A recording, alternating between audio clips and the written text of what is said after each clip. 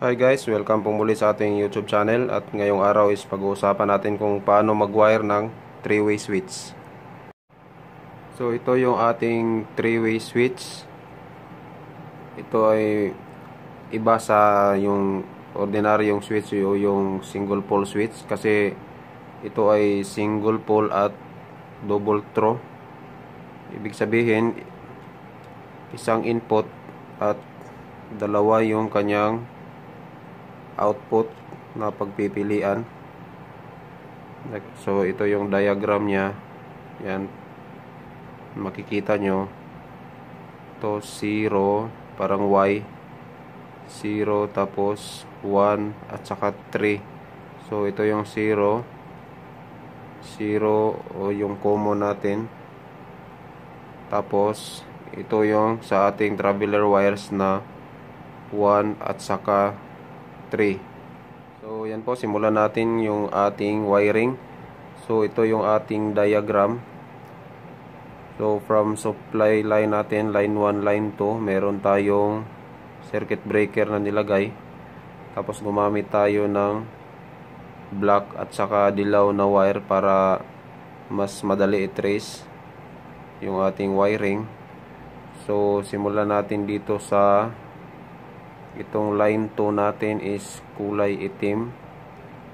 Papunta dito sa isang linya ng ating ilaw. So yan. Ito yung line 2 natin.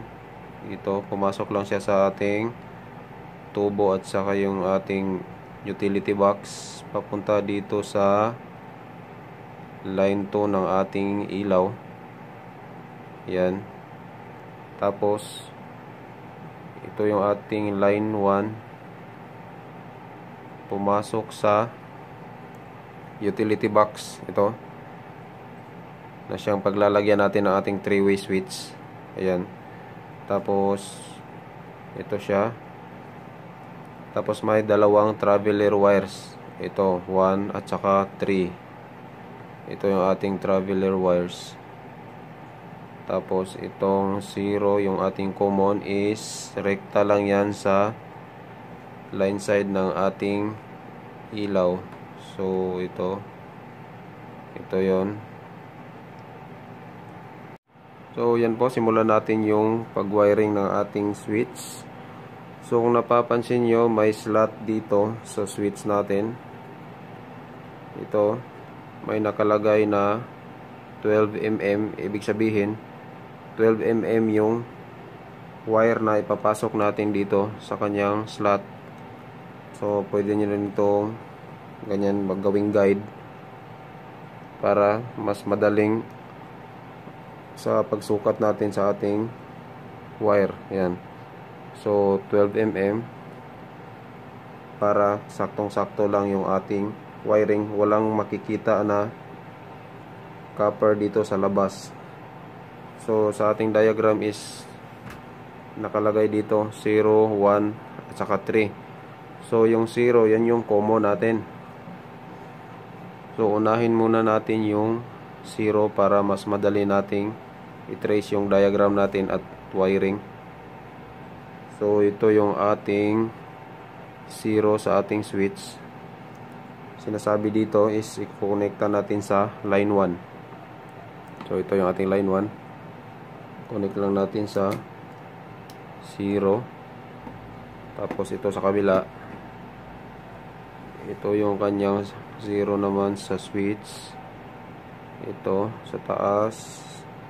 Tapos konekta dito sa isang linya ng ilaw. Ito yung yellow natin.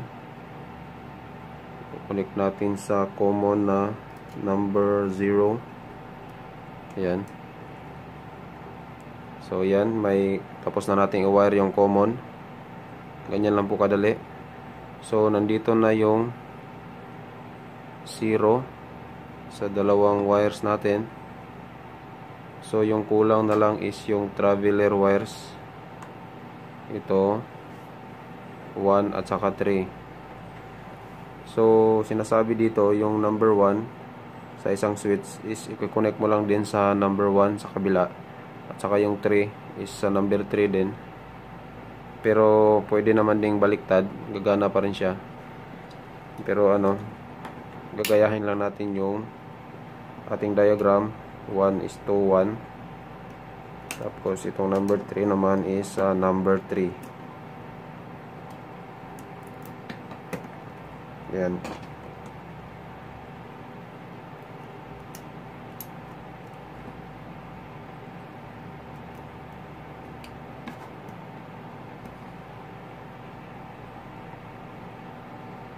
So yan po, nakonect na natin yung ating dalawang 3-way switch. So pwede na nating i-check kung gagana ba yung ating ginawang wiring. Pero bago ang lahat, i-check muna natin kung wala bang short sa ating ginawang wiring. So gamit tayo ng tester. Tsaka itong continuity continuity tester nakaset sa continuity kapag may short dito sa ating wiring is tutunog tong ating tester. Check natin dito sa load side natin. Ayan.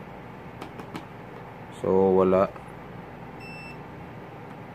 Ibig sabihin walang short sa ginawa nating wiring.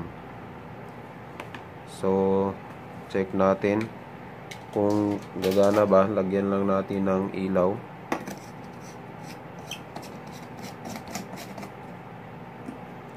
So yan po. Nalagyan na natin ng ilaw at check natin kung mag-on on natin yung ating circuit breaker. So yan. Umilaw siya. So try natin ditong patayin. At on sa kabila yan. Patay. Ilaw. Patay. Ilaw. Ayan. Pwede nating patayin at pailawin kahit saan dito sa dalawang switch. Ito ay karaniwang ginagamit sa mga hagdanan. Yung sa halimbawa ground floor to second floor. So itong 3 way switch na to is importante. So, ganun lang po ka-simple at kadali yung pag-wire ng 3-way switch. So, sana po is may natutunan kayong bagong kaalaman ngayong araw, lalong-lalo na sa mga electricians natin dyan na nagsisimula. Sana po is may natutunan kayo. Salamat po sa panonood. Like and subscribe po sa ating channel. Thank you so much.